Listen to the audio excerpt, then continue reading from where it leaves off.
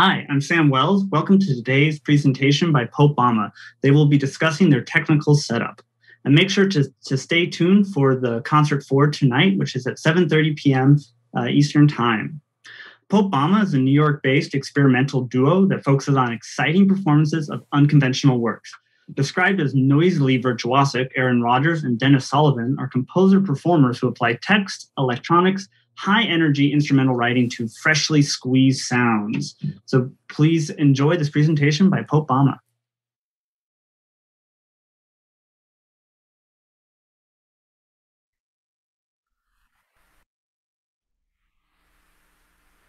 Hi, everyone.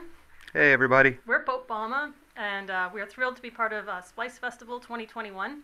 I'm Erin Rogers. I'm the saxophonist uh, and uh, composer, electronician, uh, vocalist uh, for Popebama. And I'm Dennis Sullivan. I'm a percussionist and composer, sometimes vocalist, and um, work with electronics. And this is our third public presentation as part of Splice this week. Uh, we had a concert on Monday night that featured a number of performances that we uh, performed, videoed, and, and created really for Splice. Um, on Tuesday, we explained uh, a piece by me that we had performed on Monday alongside a piece that we wrote together. And I led that discussion on Tuesday for the presentation. And today we're going to focus on a piece that was not on the Monday concert, but that is a real important part of our repertoire, and that's written by Dennis Sullivan. So um, the first thing we're going to do is play the performance of this piece, and then Dennis is going to break down uh, a lot of the electronics used in the piece, sort of demystify and uh, and make it clear what was going on. So check out the video. We're go- we're about to play it, and then uh, and then we'll talk about it. And a quick note, uh, just to have a very brief rundown of what you're going to see. Um, Gamma Chamber was written uh, actually for uh, the Splice Festival about four years ago and has been revised uh, multiple times since then. And this is the kind of culmination of those four years of revisions. Um, you'll see uh, various um, a whole system of transducers uh, producing feedback loops um, on placed on various instruments and resonant membranes. Uh, there's some fixed media. There's live processing of percussion, live processing of the fixed media, live processing of the saxophone, and um, yeah, a couple other goodies that we'll get into when we when we look under the hood here. Uh, but the piece is about 14 minutes long, and so uh, hope you enjoy. Um, this is a pseudo world premiere of this video of uh, Gamma Chamber.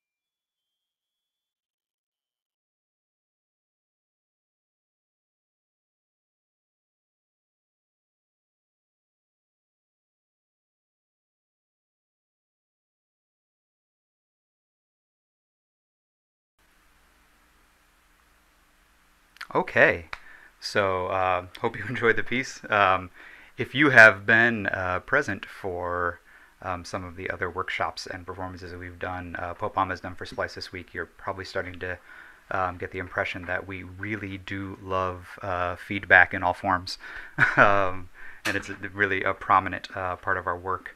Um, so when I um, sat down to write Gamma Chamber um, four years ago, initially when it, when we first started this process, um, I really wanted to explore the idea of a dual role of instrumentalist and sound engineer, um, taking the idea of being behind the mixing board and, and being a, an audio engineer and uh, adding that performative element to it. You know, I, it, it at this point we have all this music and repertoire now, not just for Popebama, but for you know a lot of um, contemporary music ensembles and improvising ensembles, where the uh, the person behind the board is just as much a part of the ensemble, even in their, in their even if they're in the back of house.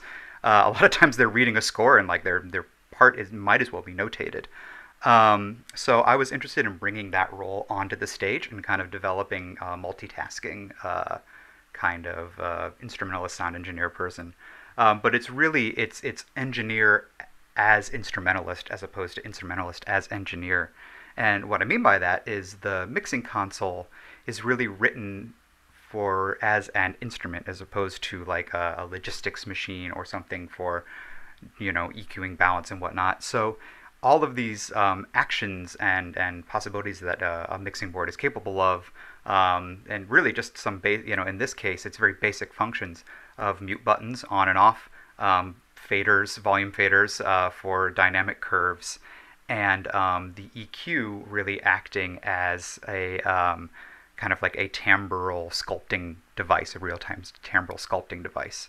Um, so all of those things are happening at the percussion station and saxophone station throughout um, throughout the piece. Um, so much of my um, electronic work to that point and still today um, deals with heavily processed um, live samples. So making sure that there's always kind of this very obvious connection between the processed sounds and the instrumental sounds on stage, and that is deployed via modular synth racks, um, too many guitar pedals to count, um, uh, audio plugins, um, and it's it's really mostly done um, in in hardware uh, with with Popebama.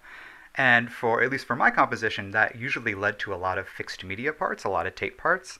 Um, but at this time, uh, kind of going back to what we were talking about yesterday on the panel, um, and something that I feel has kind of been a theme for Splice this week, um, was trying to, to address this idea of aliveness and nowness to electronic music and showing that there are um, actions and reactions to what the performer is doing on stage that is producing all of that sound that comes from a small transducer on the stage or comes from the speakers hung above your head or even just comes through your laptop speakers comes through your earbuds comes through your over ears um, but to make sure that there's always something um, that that there's an action that is very mappable to the sound.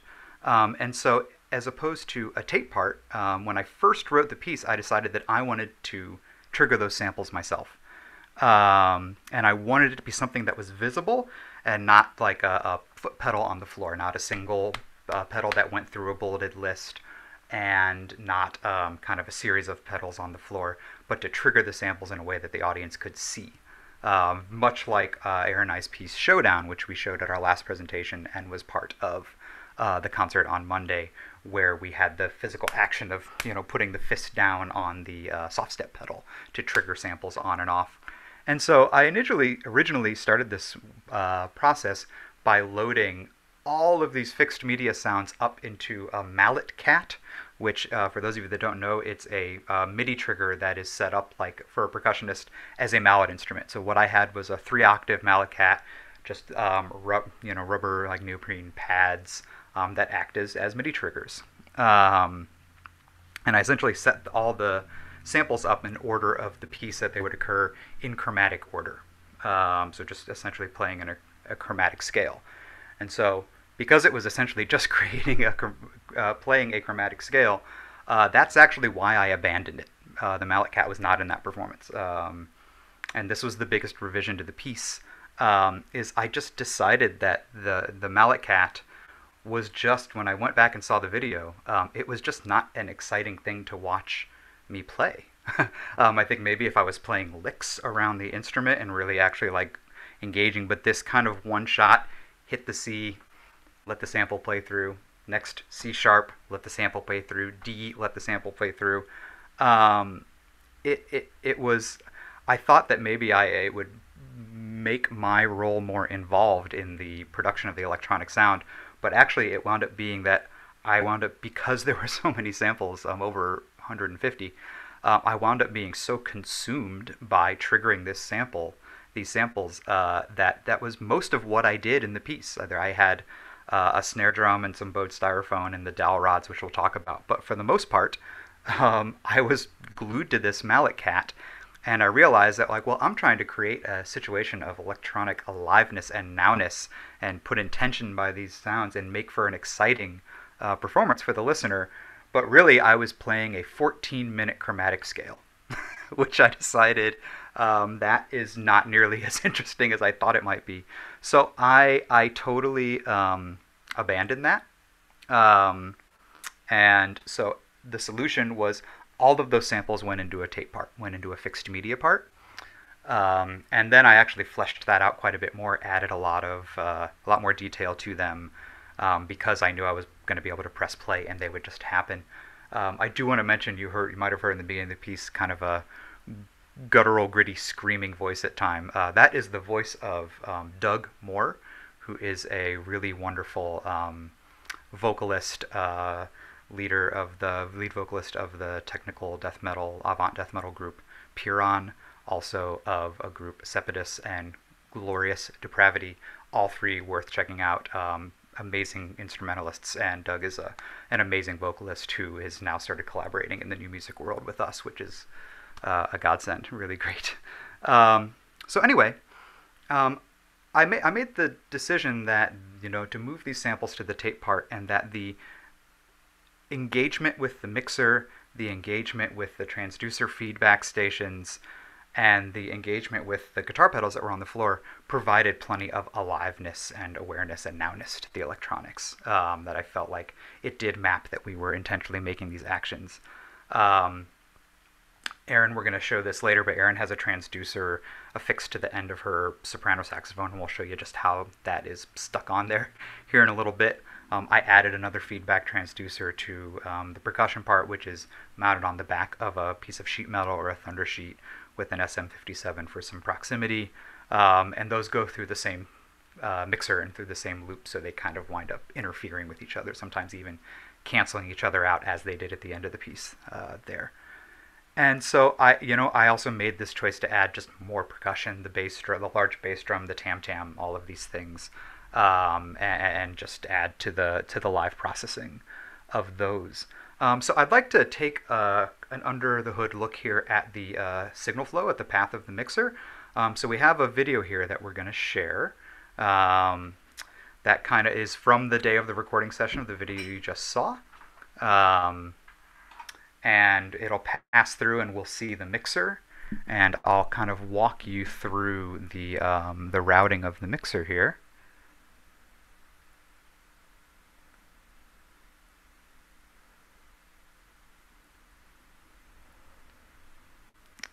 Go.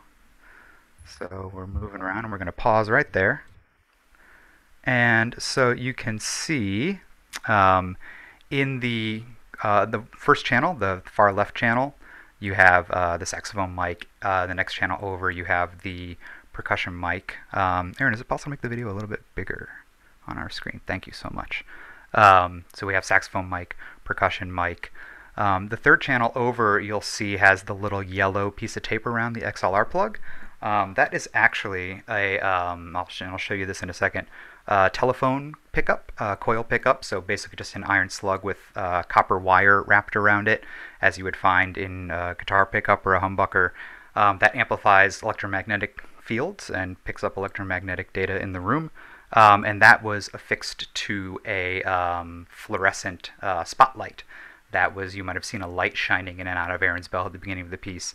Um, the current of that light as it was um, as it was turned on and off was was being amplified. Um, next over, you have two uh, aux sends, auxiliary channels, um, and both of those feed to the processing signals. Um, so the first one, you have a Boss DD6, which we talked about the other day. We'll talk more about today and a massive possessed pedal, which is essentially a granular synthesis pedal, and the other aux channel um, over from that. So now we're talking one, two, three, four, the fifth channel over is a um, Boss OC3, just an octave shifter, and that is actually feeding to the uh, telephone coil pickup. So the um, hum of that electric light, of that fluorescent spotlight, was be- being uh, shifted down two octaves at times. The Boss DD6 and the OC3 um, or sorry, the Boss DD6 and the massive possessed pedal are feeding to the um, percussion mic, to the sax mic, and to the um, the tape part also. And so the tape channel is the next one over, and that last little yellow cable is uh, uh, coming out of a preamp that is attached to a couple of contact microphones that were uh, amplifying those long dowel rods that you may have seen clamped to the sides of the table. And that caused, I bowed those dowel rods, kind of causing a bit of a seesaw Um, to the left of it, we're going to show you this uh, live and in person, but to the left of it is the um, transducer mixer, that was producing the feedback in the transducers, and uh, directly above that is a uh, fuzz pedal uh, that was distorting and also feeding back into itself, causing another level of interference um, within the feedback. So we're going to move the video along here. show you the rest of the setup from from my point of view, from my perspective. And we will pause right there. And there's Erin and Zach getting the sounds dialed in. You see the upside down snare drum there with a block of styrofoam. Uh, the snares are engaged with the fingernails, and then that socket wrench that produces a series of clicks. Um, the reason for mounting it on the snare drum was the idea of creating another resonant surface. We have overhead PA speakers producing all the electronic sounds and I thought of those vibrating bodies and those vibrating speaker cones, and then the transducer vibrating in Erin, the bell of Erin's saxophone, the transducer vibrating on the uh, thunder sheet. I wanted to kind of make a point of all the uh, sounds were vibrating within some other kind of acoustic resonator. So the styrofoam and the ratchet resonate in that snare drum, producing another, activating the snares and kind of producing another layer of um, kind of sympathetic resonance from one object to another. And we'll move the video along here.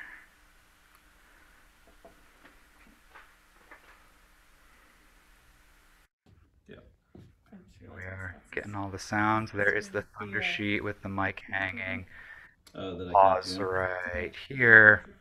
And you'll see um, there's the Boss DD6, the white with the blue, um, kind of in the middle. And then on the other side of the snare drum leg, the massive possessed pedal. And uh, to the right, the black volume pedal is actually for uh, kind of an on and off trigger of the transducers, otherwise they'd be feedbacking for the entire piece. and to the right of that, uh, the Boss OC3 that is going through the telephone coil pickup. And that's it for that video. That kind of gives you an inside look at our um, at the battle station, so to speak. And I want to demonstrate here, and I'll use our little mobile cam. And Erin, if you could open up channel 2 for me, please. Um, this is the telephone coil pickup. Um, so we have a, a lot of copper wire wrapped around an iron slug there. And you can see as I get closer to the phone, so there I have the I have it on the face of the phone, and there's that electromagnetic field. So that is, you can put this on anything that cruise. I believe uh, a really great book, and the name of the author is escaping me, but there's a uh, wonderful book where they refer to this as circuit sniffing. So that is the effect on the, and we can close out channel two if you don't mind.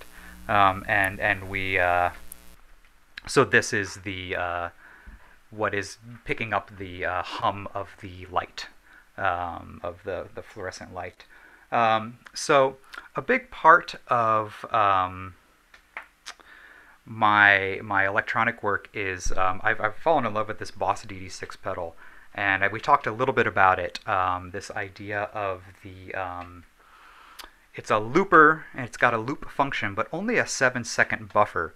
Uh, so it's not really something that you create a long phrase sample and then layer over top of it and build something cumulative over time. Um, because it's such a small buffer size, I find that it has a little bit more of a, uh, let's call it lilting like quality to it. Um, and what I really enjoy about the pedal is it's um, because you can quickly access, press, record, off, playback, and then press down to keep overdubbing. Um, it really, um, the effectiveness of the pedal is all about what you feed it. Um, so there can be all sorts of, you know, uh, sounds happening at once, and you wind up with this kind of like multi-layered cake that is like a sum of its parts. And to show you an example of what that might sound like, um, I'll feed a little bit of the tape part into the, the DD6 here, so you can hear that.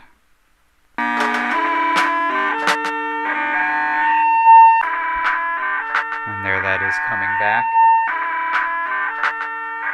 And let's put a little bit of styrofoam on it.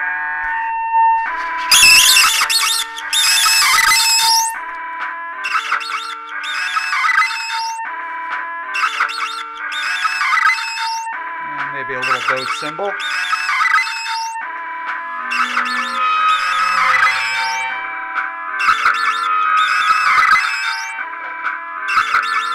then I use this, this, this granular synth pedal to kind of just take, you can very clearly um, hear all of these, take this down for now, you can really hear the three different layers. And then what I like about putting it through a, something like a granular synthesis, synthesis patch or pedal is it completely, completely like disorients those layers, right? Where you can't really hear a base, a middle, and a top layer, and they just kind of all get scrambled, and your orientation is kind of thrown all over the place, which is something I deploy quite a bit in Gamma Chamber.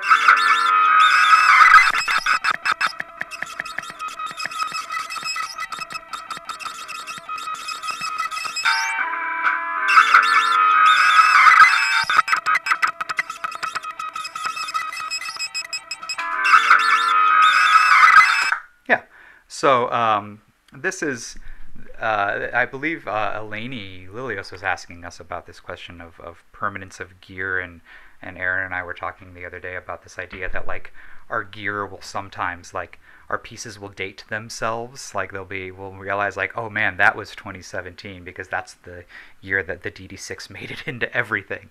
Um, and this has still become like a, a, a big part of our practice, um, this pedal. And another thing that I really enjoy about it, and just to talk a little bit more about the idea of looping, because I think sometimes we hear the term looping and it can, it can sometimes get a little bit of a bad rap.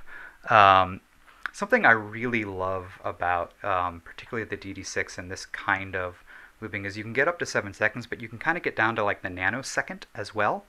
Um, and so to me, I I think of it as two different kinds of looping: uh, glitched looping and phrase looping. And I just I'm making those things up, but that's what it is to me. Um, the glitched looping is to capture a nanosecond of a sound and have it repeat and come back to you um, in you know a very quick kind of repetitive fashion. So we can go.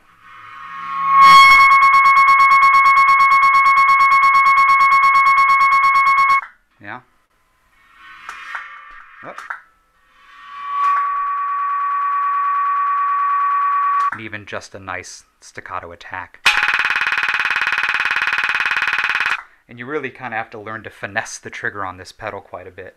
Um, the other nice thing about that is because you can overdub it and you're overdubbing over a, such a small section, you can get to a place of pretty harsh aggressive noise very quickly. and so on and so forth. Hopefully that wasn't too painful. Um, and the other is what we would call like phrase looping. And phrase looping is um, something where I imagine it's got a much more lilting kind of quality. And I always describe it as that you can hear where the seam is. And by seam, I mean you can hear where it hits its end and comes back around at the beginning. Like if you were to do a tape loop or a splice, you can hear where that where that cut or where that incision was made and they were spliced together. So for example,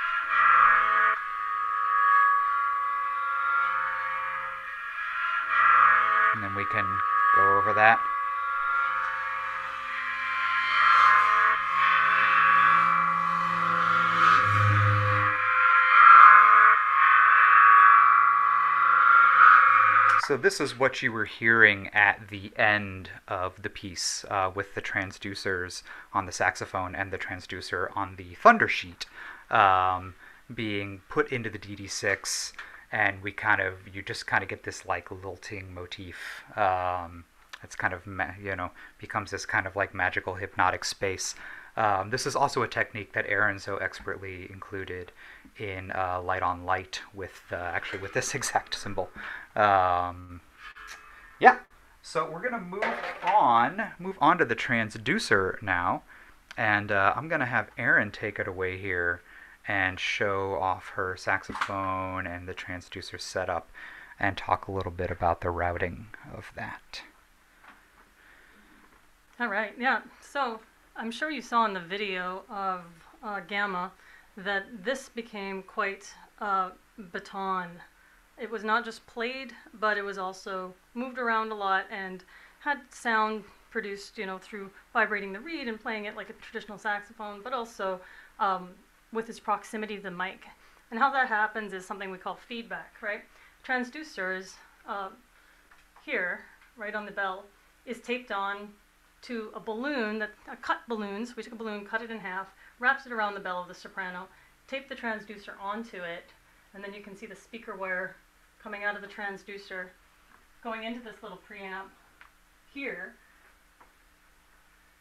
and then that, well, we start at the mic, which is the original receptacle, the sound goes into the mic, back to our little mixer here, out the headphone jack of this little Behringer into the preamp, sends the signal through the RCA over to our transducer.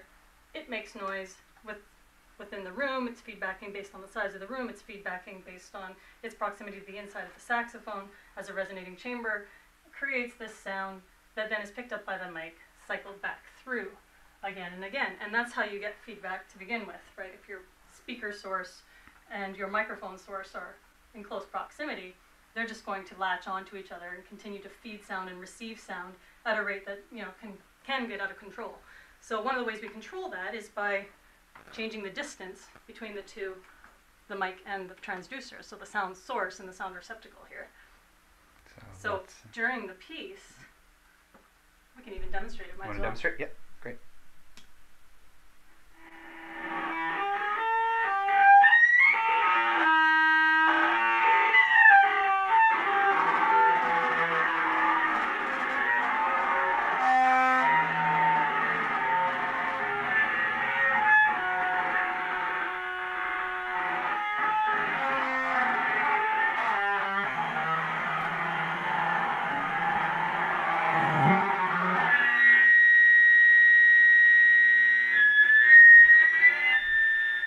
So I'm trying to find a spot where maybe it'll feedback a little differently. And I got a little bit of a high frequency pitch by putting it behind my back. So I'm standing, I'm using myself as a barrier between the mic and the transducer. And that, uh, that caused the, the sound to change a little bit. So um, in a way, I can affect the sound by moving it around. And um, in Popebama, we like to think of these things as you know, sort of built into the piece, these theatrical things, but they aren't theater. They're not drama for the sake of drama. They are actual physic- physical movements we're making to affect sound um, because it happens to add maybe to the you know, theater of the performance or make it more interesting is um, sort of secondary in our minds is, uh, in terms of priorities. So um, throughout the piece, Dennis has different motions where I get close to the mic, where I back away from the mic, and then towards the very end, this large gesture over the course of many measures where I'm moving close.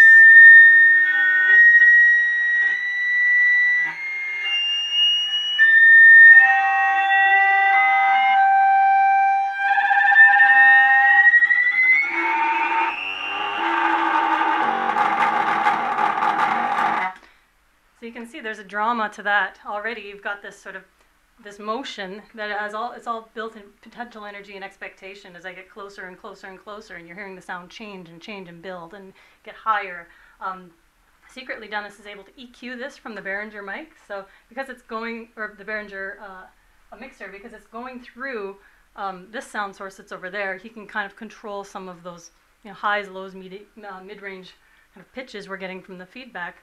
And then also we've added uh, a second cycle of this fu- fuzz probe, um, which is basically going out of the FX end and back, feeding into its own channel within the Behringer. And what that does is it creates another layer of distortion for the feedback pitch. And that helps us to regulate just this blatant feedback if we want to um, have something that sort of cancels it out a little bit or makes a little nuance to the feedback sound.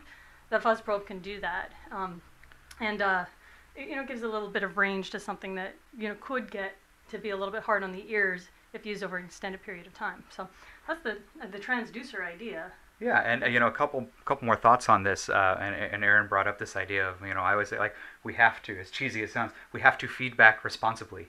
Um, it is such a um, volatile and possibly like ear splitting, damaging effect that we need to find a way to regulate. Um, and so, one of the ways also to regulate not only by putting the distortion pedal on it, but you can see that the distortion pedal here is going out and into the effects send and then into its own channel.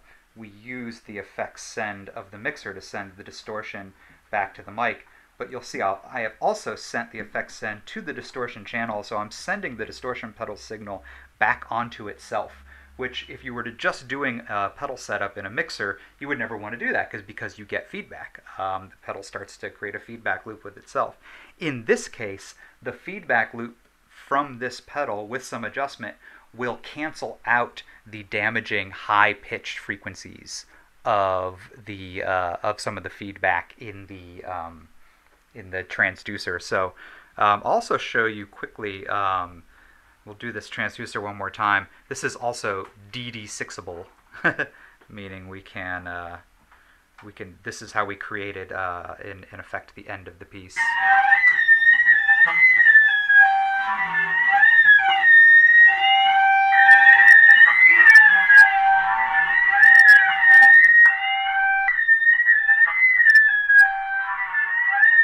And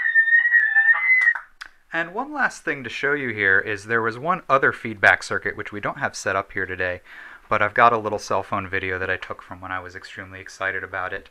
Um, we have a transducer mounted on the back of a large thunder sheet, and that actually picks up the resonant frequencies of that thunder sheet that we can actually then bend that pitch by bending the, uh, the thunder sheet itself. So we will show that quickly.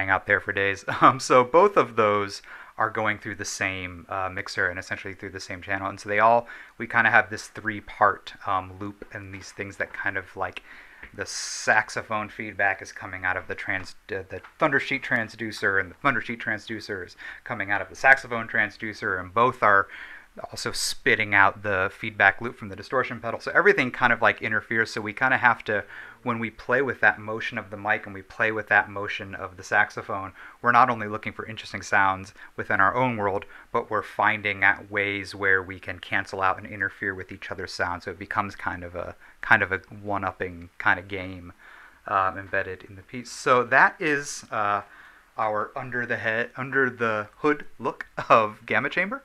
Um, really appreciate you being here today, and we'll um, we'll stick around here if you've got any questions. This video uh, that we played today will be up on our YouTube channel shortly, and we'll just live there uh, along with uh, Erin's video of Light on Light that you saw the other day, and many of the videos from the concert. If you want to take a second look. Wow, that was uh, an absolutely um, inspiring and incredible talk and demonstration. Um, there are definitely a few questions we're going to go through, but um, first off, I just wanted to say I was so um, impressed and in awe of this uh, incredibly complicated, nuanced network made of all these complex sounds and simple devices that to me really felt like it's amplifying the nowness you were talking about yesterday. All of the actions are just like have huge consequence, but you've tuned the whole system where it stays in a world that you can still kind of compose and predict. So that was, yeah, really impressive. Uh, yeah. Four year process of wrangling, wrangling all those pieces and parts. um, well, that actually brings up one of the, it was more a comment um, from Flannery Cunningham um, early on in the chat I wanted to bring up was um, she mentioned that uh, it was great to hear such an honest account of rethinking and revision a work like this. And I wondered if you could um, briefly touch on this. Um, clearly, the, the, work is at such an evolution, but also I'm sure it took an incredible amount of workshopping um, together and uh, on your own, but then also um, how do you prepare that for different spaces and um, perhaps different percussion instruments? Um, I know if you're on the road, you may not always have the same instruments. So I was wondering if you could speak to that a little bit. Sure. Um, The percussion instruments luckily don't create too much of a of an issue. Um, I guess if it, it, would be a bummer if they were too small. as long as it's a big tam tam and a big bass drum, um, and then you know a snare drum's a snare drum. It's upside down on that in that piece anyway. Mm-hmm. Um, the percussion instruments not so much, but um, the setup and it, it, it's not even as I mean the, the feedback transducers are of course very responsive to the room. Um, the rest of the electronics, it's just kind of I don't want to say the rest of them are kind of plug and play. I guess they're plug and play after a lot of like a whole whole like Google Doc full of the levels um, that seem to work best, um, and then micro adjusting that. It's really just uh, the setup time. I mean, we've done it when mm. we in New York. We set it up uh, and tape everything down to the table and slide the table into the bed of the truck and just like everything's there. That's great. Everything is like coiled and and completely packed. Um, it's a day, you know. So we're yeah. so, we have to unfortunately be kind of selective about when we program that. And Erin has also a piece of wormhole um, that was also up on the YouTube channel, worth checking out. Um, that was we premiered with uh, Gamma Chamber at Splice years ago.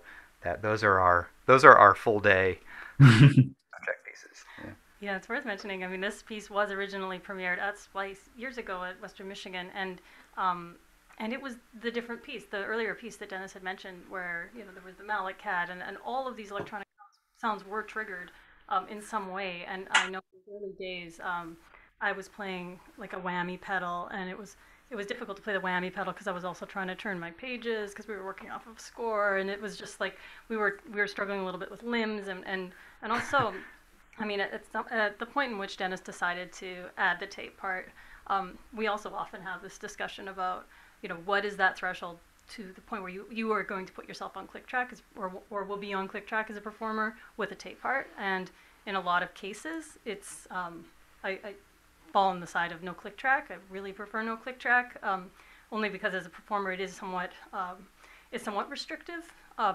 however, with this piece, the, just the amount of things that were going on, uh, the fact that it was meant to be performed in the dark, so after those things you might not see or you know experience as an audience member anyway, and uh, and the idea that already with the you know the transducer, I'm, I'm I mean as a performer, I pretty much get to dance up here um, through finding sounds. Like I, it's not I'm not dancing to dance. It's actual dancing to play the piece. Um, being on that click track wasn't as restrictive um, to the piece overall. In fact, it helped. So we so I mean when Dennis made that decision to put it on tape, actually, we're we're pretty pleased. Great, great. All right, we got another question from uh, Seth Rosenoff. Uh, based on the way you set up your composition, uh, do you find any unexpected happenings each time it's performed? Well, I think uh, actually it was in the recording. Um, I think w- one of the transducers started on fire, uh, which these things are cheap and they get. and we'd been running the same transducer for a number of takes. And at some point in the in the performance, I thought, "Man, do you smell that?" And then sure enough, I was like, "Oh no!" I mean, I I, I have no problem um, like taping things and, and doing all sorts of you know of, of questionable things to the saxophone um, in terms of just like a, you know adding elements and for the sake of the music, but when it started on fire, I actually got a little bit nervous. Uh, yes, we we found we found the line of of what Erin is willing to put her horn through, and the line is fire. Um, and that was that. That was actually the take we wound up using um, because it made this amazing sound as it just kind of you heard this crackle, crackle, crackle. Um, the piece in every other performance had ended in a, like that fade out uh, was very different than the way we usually end it. We usually kind of build it to this huge. We layer the the transducer right on the mic over itself over and over and over again until it becomes this kind of like swarming, buzzing beehive thing. And we've done that again since the recording. But for this one, um, we just were so into the machine, the system being put through its paces, and then ultimately completely giving out that we're just like, I think that's the document. That's going to be, we're going to stick with it and we'll just fade it out at the end. yeah. Well, that take was definitely fire. So that's great. Um, I had to. Uh, anyway, uh, we got another one. Um, this is interesting. Um, from Connor uh, Scroggins, what are the most challenging sonic qualities for you to connect between acoustic and electronic sounds? Whoa. Oh. Um, yeah. Well, I mean, rhythmic engagement Hmm. certainly one thing. Um, and that's where you wind up with having kind of the question of click. Um, if you needed to like have some fast, like tight hocketing between a machine and yourself, um, where the machine might be perfect and you might, and you're certainly not. Um, so I think finding like meaningful rhythmic engagement with machines um, is something that I still am in search of a little bit more, and may- maybe that's because I'm coming from a percussion standpoint, but I'm I've, I've yet to feel like really satisfied. Um, it's like either a tape and I know it's coming and it's not as exciting, or you know just trying to find you know. And I guess when I say with electronics, I'm talking about like rhythmic engagement with a with a system or a machine that has its own agency, um, not necessarily something that somebody is is playing like pads or, or something like that. Um, yeah, man, that's a that's a really deep question that I kind of want to think more about, and maybe Connor will will talk about that. Uh, we'll get, hit the email. Yeah, I would say for from a saxophone standpoint, um, it's uh, it's difficult to play with raw, just raw basic electronic sounds like modular synth sine tone production um, to an acoustic instrument like the saxophone. That's probably been the, the most difficult um, entryway I've had. Uh, it, I, I've tried on a number of occasions to find, you know, just ways to match timbrally, and it's it's such a different world uh, at its outset that if I have a you know a if I've got a pedal board with a lot of effects, I can always find a way in. And if I've got, um, and if there's, um, if if there's distortion to the waveform or something else happening there, I can always find blend. But just pure, pure bloop bloop bloop sine tones are some of the hardest things to actually connect acoustically um, on a more general level. Not that doesn't happen in gamma, but for to Connor's question. Yeah, I um that made me also realize uh while maybe there's not always like acoustic or sonic connection between whatever um acoustic sounds they're making and electronic sounds, but the um uh, impact and effect you have on the feedback network through your movement and place of that, I think somehow brings like the proximity of your playing into the system in a really um, uh, overt way that's easy to perceive and track, um, which is really cool. Um, all right, I think we got time for one more um, from Be- uh, Brett Masteller. Uh, do you find that computer, if involved, computer interaction works best in one way or multiple ways for things like live sampling, uh, signal processing, triggering, um, or pitch tracking or um, time-based events? Um, or as you mentioned, performer triggering uh, event advancing. So do you like the computer to have a system to make decisions, or do you like to have a bit more control um, over the computer if you're using one? Um, I think depends on the system. Um, Mhm. I I guess it's like nice when the system models some an agency that feels somewhat in a human wheelhouse. Um, maybe I don't know, but not that's not to say that I'm then not really excited and surprised by something that's just like completely, you know, algorithmically beyond my brain's computing power to, to comprehend which way it, which direction it's going to turn. Um, Yeah, I think with compute, I mean, we don't actually use computers and manipulate computers in performance very much. I mean, it's a, it, it, uh, partially because it's not you know a visible instrument to the audience. I mean, there's a um, there's you know the cover of a laptop you can't see unless we have an overhead camera, um, and also because you know typically we need this a certain radius of space in order to Mhm. operate. So we look for devices. We look for controllers. Um, yesterday uh, or two days ago when we talked about Showdown, having the uh, having the max patch um, for the joystick controllers was a really great way. Um, but we were we do when we play that piece run two computers, separate computers with separate max patches, and part of that is also, I mean, getting nervous when there's more than one piece of software running on the computer at any given Absolutely. Yeah. uh, which you all know from Splice. So um, finding ways, if there is software, we get a lot of Mac software, to find controllers to, um, if we do need to manipulate software, is probably our first instinct. And I will say, like with Showdown, we make the conscious decision to black out the screen of the laptop and close it as far as we can get it and stow it away under the table. And that's not to like shy away from we it's not that we're just like, oh, we don't want anybody to know that we we've got laptops on stage, but we we do kind of love this idea of just like having this like you know old cruddy Logitech joystick sitting out there and then it just does all these things and you interact with it and it's just like we do kind of like the idea that like the sounds are coming out of that tactile device as opposed to there being like a visible sound engine behind it that's mm-hmm. feeding mm-hmm. so we love computers and laptops and we use we use them but we I, yeah I'll admit that we tend to kind of like stow them away and have it be on the focus be on the controller and be on the action definitely Wonderful. Um, well, I think we're out of time. So I'd just like to uh, thank Pope Bama, Erin Rogers, and Dennis Sullivan for this presentation and everything you've been doing this week as part of the featured guest ensemble at um, our Splice Institute. And I would like to uh, let everyone know we have another concert tonight at 7.30 Eastern PM that will feature um, Splice Ensemble, um, some works by Per Bloland, El- Elsa Justel, uh, Alex Christie and um, Adam Vidiksis, and uh, and some world premiere videos on it. So it should be a great show. And uh, thanks again to Popebama. Thank, Thank you so you. much, Sam. Thanks everyone for tuning in.